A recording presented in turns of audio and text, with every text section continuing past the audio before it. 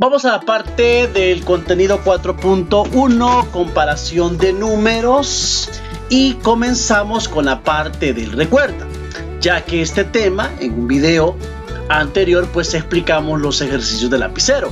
Sin embargo, al final del video te voy a colocar por acá lo que es la continuación de este tema.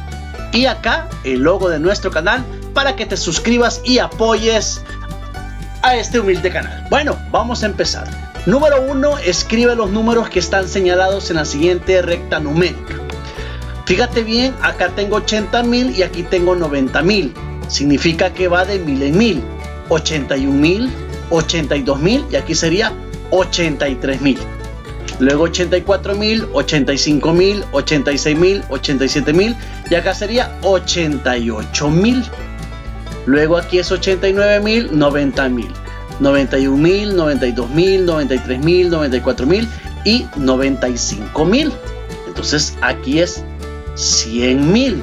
Entonces acá sería 101 mil, 102 mil, 103 mil, 104 mil, 105 mil, 106 mil, 107 mil y aquí es 108 mil, 109 mil y 110 mil. Ahí está los resultados. Mira, 103 mil y acá sería 105 mil, 106 mil, 107 mil, 108 mil, 109 mil, 110 mil. Ahí está los resultados. Bueno, vamos ahora con la parte número 2. Ubica los números que se indican. 2000, fíjate bien, acá tengo 1000, acá sería el 2000.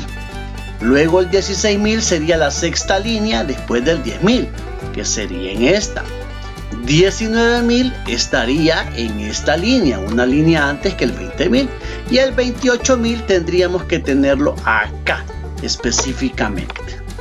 Ahí está, mira, 2.000 es este. 16.000 es este. 19.000 es este. Y 28.000 es este porque 30.000 está acá para comparar dos números. Fíjate bien qué es lo que hay que hacer. Se tiene una cantidad igual de cifras, se compara la cifra por cifra de izquierda a derecha. Y el número 2 dice que al encontrar, una, al encontrar una cifra distinta en la misma posición, el que tenga la cifra mayor será el número mayor. Bueno, ahí está la parte de recuerda. Vamos al, a la continuación. Te dejo por acá el video para que lo ingreses, para que ingreses y acá lo que es la suscripción de nuestro canal. Apóyanos. Bendiciones.